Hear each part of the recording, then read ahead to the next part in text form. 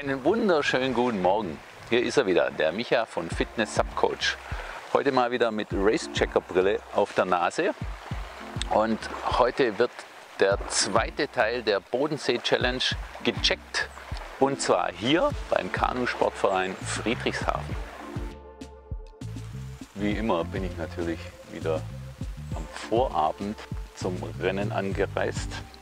Und sehr erfreulicherweise gibt es einen sehr schönen, sehr großen Parkplatz direkt vor dem Gelände des Kanusportvereins Friedrichshafen. Und das Allerbeste, und ich weiß jetzt nicht wirklich, ob das so geplant oder zufällig war, ich gehe mal davon aus, der Veranstalter hat einfach mitgedacht, dass Menschen wie ich, die hier campen, das sind ja nicht wenige, morgens vielleicht mal irgendwie Zugang zu einer Toilette brauchen. Und von daher war das Gelände nicht abgeschlossen, sondern frei zugänglich. Schon mal sehr, sehr viele Pluspunkte. Schauen wir uns gleich mal das Gelände an.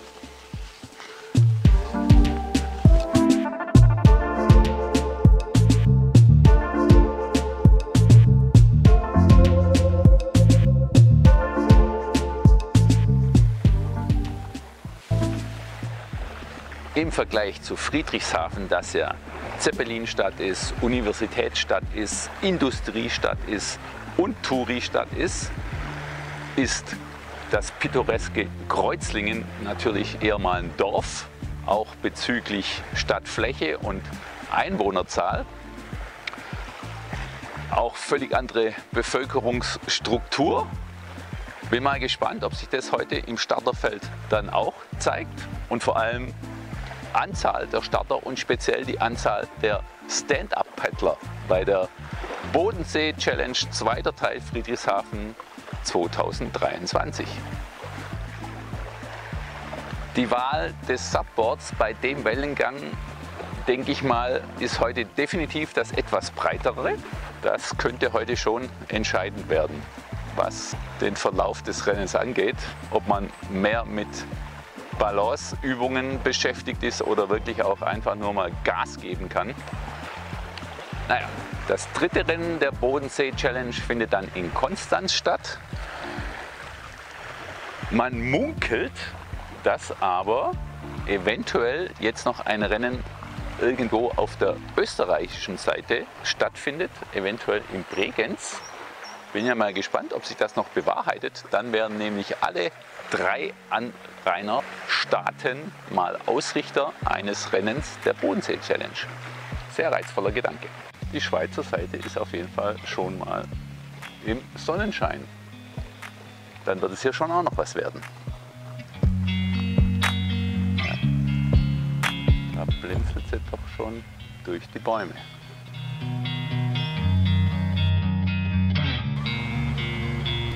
Bis vor vier Wochen standen hier auch noch zwei Bäume mehr auf dem Gelände. Einer ist dann leider auf dem Dach vom Vereinsheim gelandet und hat einen mordsmäßigen Schaden angerichtet. Zum Glück gab es keine Verletzten und der Verein hat natürlich gerade andere Sorgen und von daher umso lobenswerter, dass sie trotzdem die Veranstaltung hier jetzt durchziehen. Auf dem Dach lagen dann wahrscheinlich so 10 Tonnen Eiche. Das Gelände zeigt sich auf jeden Fall mal sehr kinderfreundlich. Natürlich auch hier und heute mein kategorischer Check.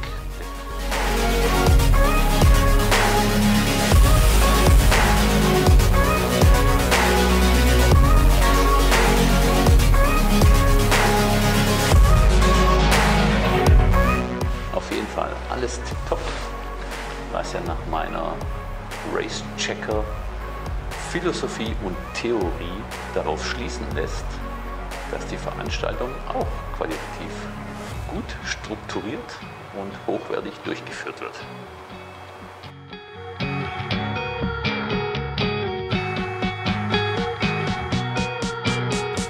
Und zack, wie man unschwer erkennen kann, hat sich mein Dresscode innerhalb von zwei Stunden jetzt radikal verändert.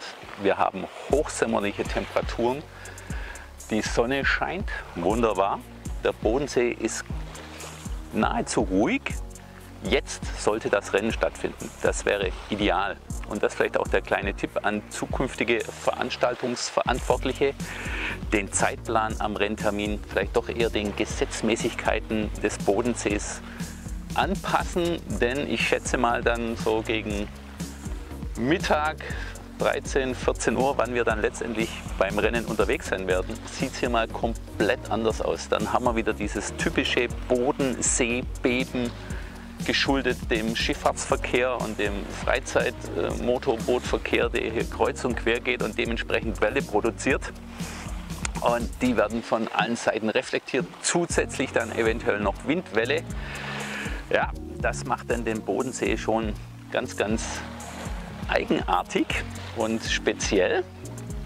Und äh, wenn man diese Bebenwellen, die man gar nicht wirklich sieht, sondern nur spürt, dann wieder von hinten seitlich aufs Board kriegt, wow, kein Spaß nicht. Naja, wir werden sehen und freuen uns trotzdem aufs Rennen. Es ist noch verdammt ruhig hier, muss ich sagen. Es sind die paar wenigen Paddler da, die übernachtet haben, aber dass jetzt großartig noch Menschen einfallen und sich vorbereiten aufs Rennen und heiß sind, ist leider noch nicht so weit. Ich hoffe, dass das Starterfeld der Subpaddler diesmal etwas größer ist wie beim ersten Rennen in Kreuzlingen. Ja gut, wir werden sehen. Und wie bestellt, da ist er. Der Zeppelin, der diese Stadt geprägt und gestaltet hat wie keine andere.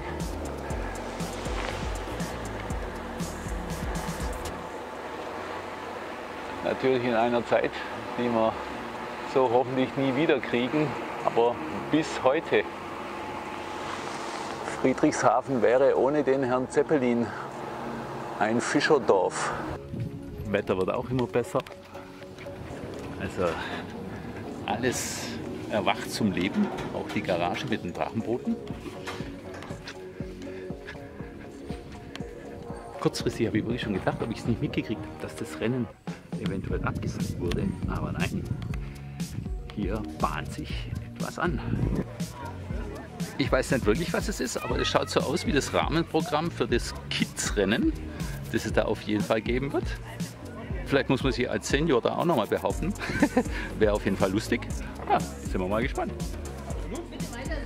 Die Rennleitung baut auf. Auch schon. Ähm, wie sie?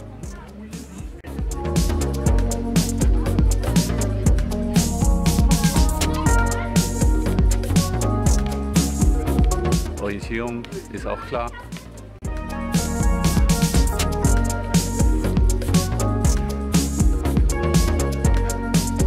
Outrigger, Surfski, Subs, Hardboard, iSubs, alles da.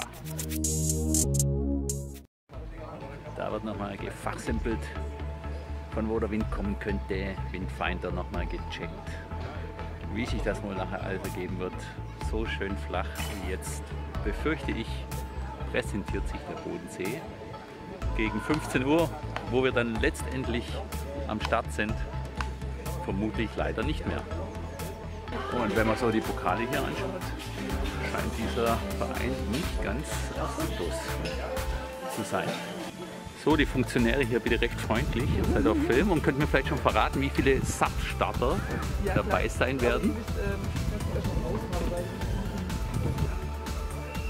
Ja, noch gestaltet sich die Strecke hier etwas kryptisch, aber vermutlich kriegen wir da noch ein paar Tage dazu gesagt. Und dann dürfte das im Großen und Ganzen auch klar sein. Und wie es dann halt gerade mal so am Bodensee passiert, Vorher noch hochsommerliches Wetter und zack, haben wir hier kühlen Wind, Gewitter. Es regnet und regnet und regnet und regnet und der Start verzögert sich und verzögert sich und wird immer fraglicher. Naja, bleibt nichts anderes übrig, als abzuwarten.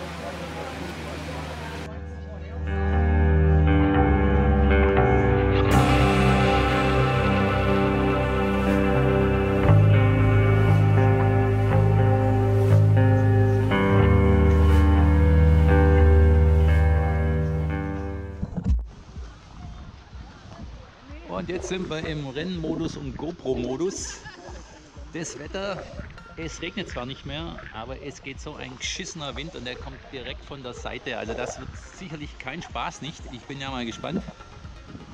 Mal gucken, vielleicht entscheide ich kurzfristig unterwegs, aber ich statt der langen Distanz doch nur die kurze fahre. Jetzt schauen wir mal, wie es so läuft und heute gibt es bestimmt ein Schwimmfest. Das ist glaube ich schon mal ziemlich sicher.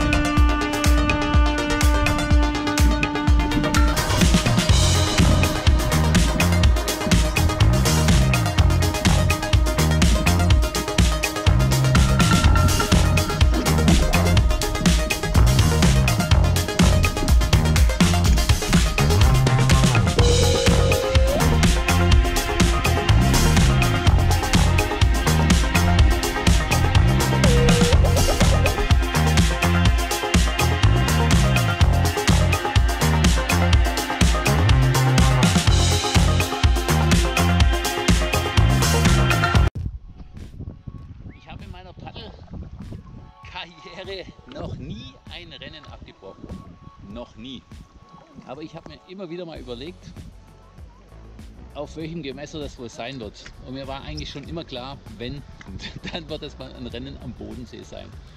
Ja, und heute war der Tag. Unglaublich. Der Bodensee, der macht mich echt jedes Mal wieder fertig. Und heute hat er wirklich absolut gesiegt. Ich habe so meinen eigenen Ehrenkodex, wenn ich innerhalb von fünf Minuten mehr als fünfmal ins Wasser falle, dann hat es keinen Wert, dann lasse ich es einfach sein, bevor ich dann stundenlang womöglich im Knien paddel oder was auch immer. Es hat nicht sollen sein. Auch mal eine neue Erfahrung. So ist es halt. Ja? Der Bodensee war mal wieder stärker. Wie auch immer. Respekt an alle, die es jetzt durchziehen. Aber da war ich heute mental einfach nicht gut genug drauf. Ne, kein Bock mehr. So, umso besser. Jetzt habe ich die Dusche für mich alleine und kann dann in aller Ruhe nachher den Zieleinlauf der wackeren Recken, die es da durchgezogen haben, in aller Ruhe auf Film bannen. Tja. Ja, also der Welle heute direkt von der Seite brutal. Echt brutal. Und nochmal absoluten Respekt an alle, die es trotzdem durchziehen. Da habe ich heute nicht die mentale Stärke gehabt. Das war mir heute einfach zu doof. Surfsea-Fahrer sind schon einige da. Stand-Up-Paddler sind weit und weit noch zu sehen.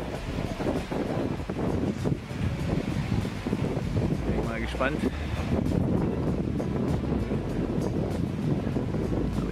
auch schon viele eher frustrierte Gesichter gesehen.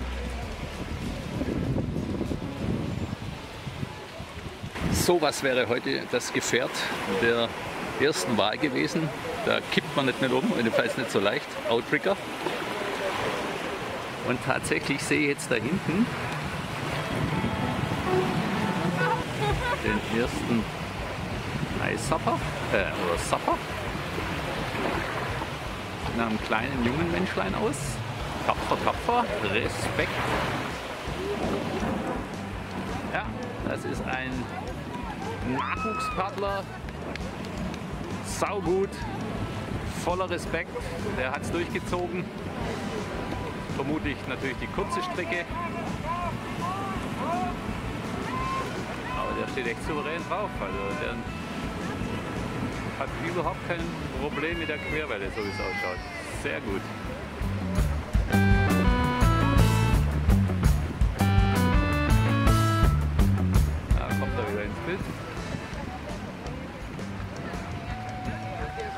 Dem kann man noch ein ganz großer werden. Und zack,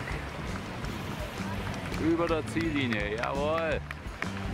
Sau gut. Respekt.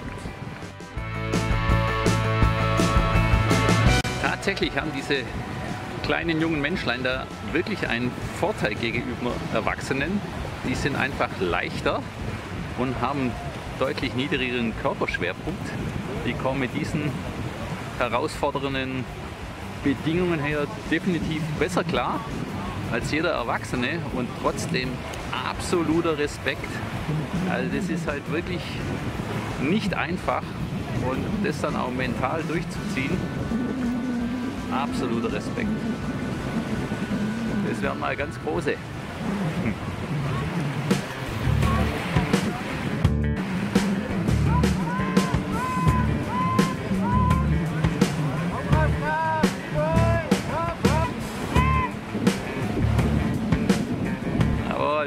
Paar Meter gibt er noch mal richtig Gas. Ja, super. Und gleich hat er es geschafft. Gleich fährt er an der Zielboje vorbei. Sehr stark. Chapeau, Applaus, prima. Und der erste Erwachsene ist auch da.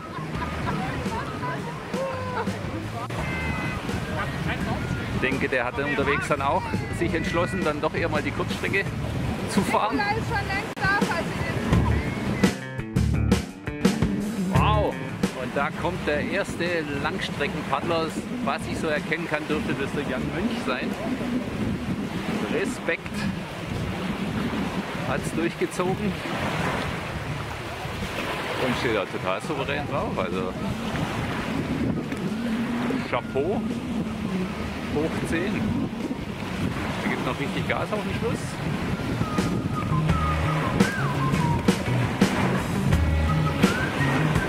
Erster Hardboarder. Oi. schade, schade. Aber auch ein Trost. Also wie gesagt, auch die Besten, wenn die heute reinfallen, das hat absolut nichts zu sagen. Das sind heute echt gnadenlose Bedingungen. Wind direkt von der Seite, dadurch Welle direkt von der Seite. Es ist wirklich ein Kampf und kein Genuss.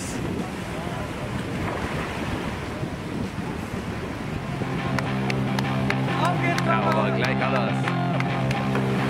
Auf geht's, Jan, komm!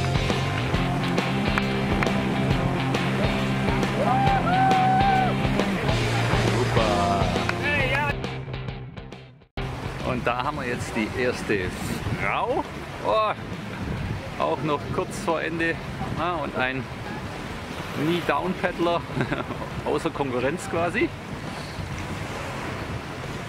Die erste Frau, die dann auch noch ein paar Meter hat, noch ins Ziel. Auch Langstrecke, denke ich mal, bin mir nicht ganz sicher. Respekt, doch, das muss, muss Langstrecke sein. Ja, hoffentlich merkt es noch, sie muss noch zwischen den Bojen durch. Da an der Boje vorbei. An der roten Boje vorbei, genau. Ja, beinahe, beinahe.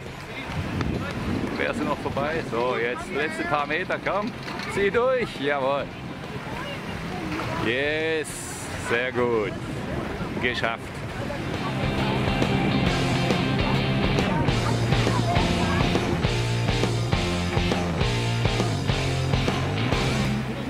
Und der Ant hat auch durchgezogen, sauber. Respekt.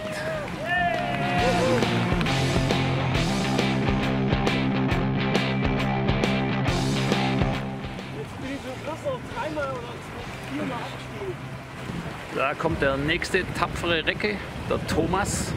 Ja, dem ist sein Training für die Sylt-Umrundung, die er dann leider doch absagen musste, auf jeden Fall zugute gekommen. Respekt. Ja, den Abgang hat er sich verdient.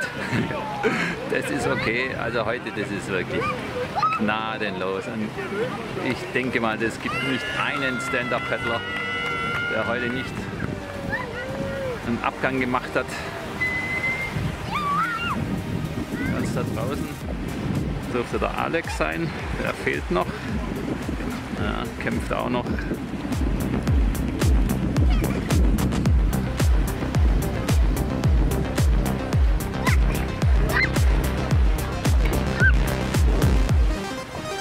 Sauber Thomas, Respekt. Und da haben wir den Alex, hat auch durchgezogen. Sauber, Respekt. Auch hier der verdiente Sprung ins kühle Nass. Sauber, Chapeau. So, und schon ist die Bodensee Challenge Teil 2 Friedrichshafen 2023 wieder Geschichte. Das Rennen ist jetzt schon legendär, einfach aufgrund der widrigen Bedingungen, die hier wirklich alles gefordert haben selten so viele Leute gesehen, die abgebrochen haben und selten so viele ausgemergelte Gesichter im Ziel, die wirklich alles gegeben haben und alles geben mussten, um hier irgendwie durchzuziehen und keiner, keiner auch von den richtig guten Stand-Up-Paddlern ist heute äh, die Strecke durchgefahren, ohne mehrmals ins Wasser zu fallen. Es ist wirklich gnadenlos heute. Wind, Welle, Bodensee. Bodensee, Bedingungen, Bodensee Challenge. Diesmal auch eine Erfahrung, mein erstes Rennen, das ich abgebrochen habe. Naja, schauen wir mal, dass beim nächsten Mal besser wird. Jetzt geht es noch zur Siegerehrung und dann zum gemütlichen Teil. Das Grillfeuer brennt schon. Soweit, so gut. Das war's wieder von Fitness Subcoach und Racecheck.